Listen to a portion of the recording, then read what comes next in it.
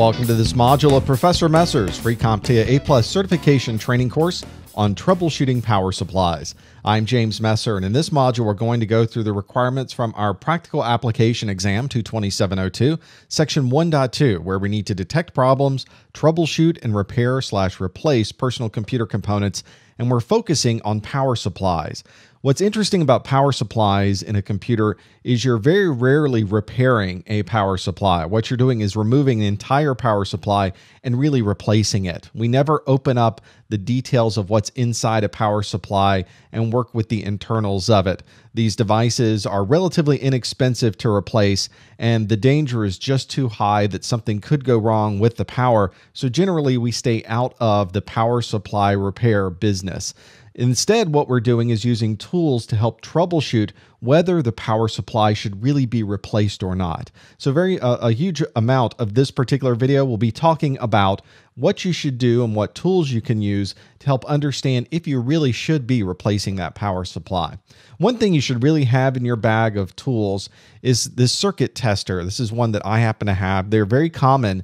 They're very, very simplistic, but they can give you a perspective of how the power is right there at the outlet. So, this is one obviously designed for the United States. You can see the outlet connections here, and it has lights on the front of it that will tell you whether there's an open ground or an open neutral or an open hot. If everything's correct, it's going to have these two ye yellow or amber lights lit on the side of it. So when you plug it in, I turned all the lights off for this. You could see those lights light up. The red is not lit, the two ambers is, so therefore it is correct.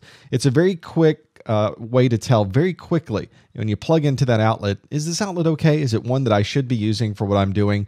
I don't know the voltages in here. I don't know the exact numbers of how much power is really coming out of this particular outlet, but I can very quickly tell whether first I'm getting power out of the outlet because if nothing comes on here, I, I know that there's no power connected to this at all. And I could also plug this in and at least understand is this something that's okay for me to plug into, or is any of these connections not wired properly?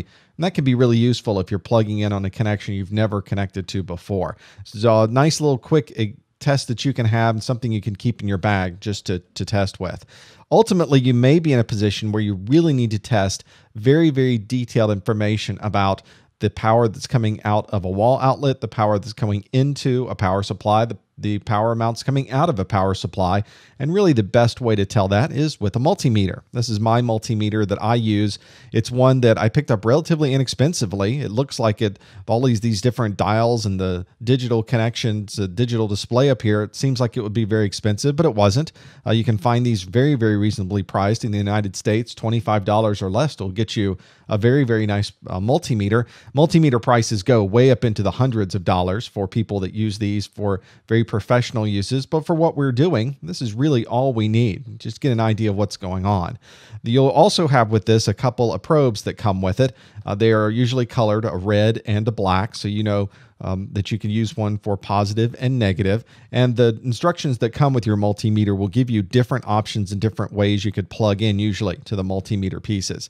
So the multimeter itself has a lot of different functionality. If we zoom up here on all of these different dials on the front, you've got the ability to do voltages. And you can see from our previous videos, you can see some of the symbols that you're accustomed to seeing, the DC symbol, the AC symbol. Here's one that has a little chime on it that checks to make sure that the connection is there. You're able to look at it and and see if there is continuity all the way through a wire. So you can tell if a wire is broken or if uh, two connections on a cable really don't connect to each other, you'll know. If you, they connect, you'll get a, a ringing noise. That's what that tone is for. If they don't connect, it's an open link, then you, you won't hear anything. And there's a lot of other connectivities and a lot of other uh, tests on here that you could use to be able to tell how much power is going through a particular device, for instance. Well, before we get into really using the multimeter, one important thing to keep in mind is that we're dealing with power here. Power can be extremely dangerous to work with. If you touch the wrong thing, if you do the wrong thing, your computer could kill you. It's a, a very, very delicate situation. So be very, very careful when you're working with the multimeter that you know exactly what you're connecting to. Don't let those two probes of the multimeter touch. If you're in down there and connecting to something, make sure those probes are not getting near each other. You'll notice that they have some plastic around them to help prevent them from touching each other. If you connect and short out a connection, you'll get a nice spark there. You don't want to create problems or or damage what you're trying to test, and you certainly don't want to shock yourself. If there are any questions about what you're doing, don't touch it. If there's something that needs to be resolved and you feel like it's outside the realm of what you should be working on, just call a licensed electrician and they'll come in and have a look at that. If we're testing a power supply, we're going to want to know if the power supply is really getting the right amount of power from the power source. And this is a power outlet in the United States.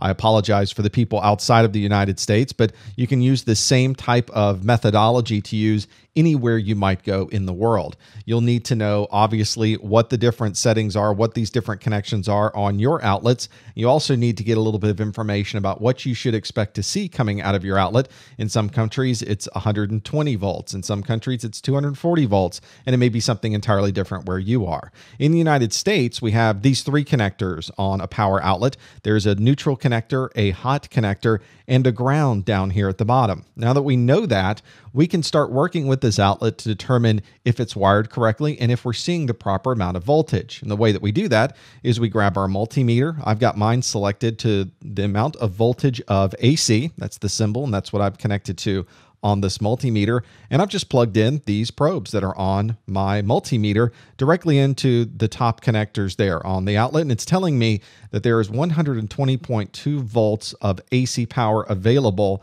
on this particular outlet. So I know immediately if this is, I'm looking for 120 volts, I'm getting it. I'm getting exactly what I should expect.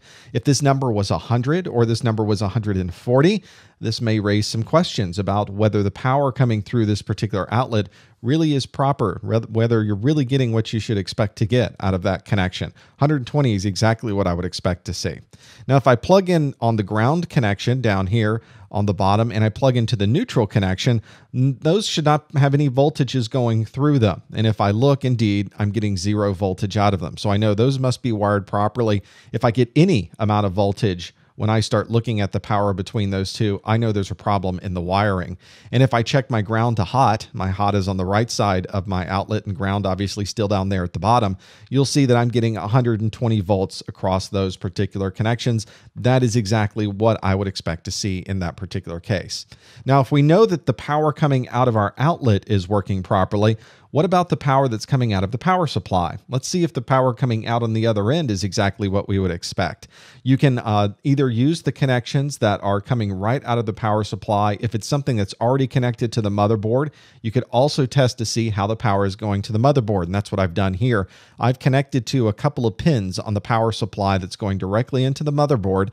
I've got one pin plugged into a ground connection, and the other pin looks like I plugged into pin number four, it looks like on this particular display. It's kind of of hard to see on this picture, but I believe that's where I am. And if you look, pin 4 should give me 5 volts of power, and indeed, I'm getting 5.03 volts on my multimeter here. So I can expect that I'm actually getting the right amount of voltage going into my motherboard. You can, of course, test the connections on your Molex connectors, test connections on your floppy drive connectors, on your SATA connectors. You can really test a lot of different pieces on here with the multimeter. And it really is an indispensable tool to use to be able to determine how, how is my power supply really working for me? Is it really giving me the right voltage or not? And Is it, should every single connection on there work properly, then you can feel pretty good that your power supply is doing exactly what you expect it to do. Let's see what we've learned about troubleshooting our power supplies. Our first question is What is a good basic tool for testing a power outlet? Well, if we don't want to go the multimeter route, we know that we could use one of those really nice circuit testers, plug right in, get a valid setting, and then you can remove it and go to the next outlet. Our next question is what AC voltage should be seen on a typical US outlet? In the United States, the amount of voltage coming out of the wall should be around 120 volts. And if it isn't, we need to call an electrician. And last question what current type is output from a PC power supply? There's a certain current we're expecting to come out of the power supply. We're obviously putting AC power into the power supply. On the other side, we should expect to see direct current, DC power, coming out of the power supply. That covers what we needed to know for our 22702 section 1.2. At this point, you should be able to go through and troubleshoot your power supplies and know if it's really providing you with the power that you would expect.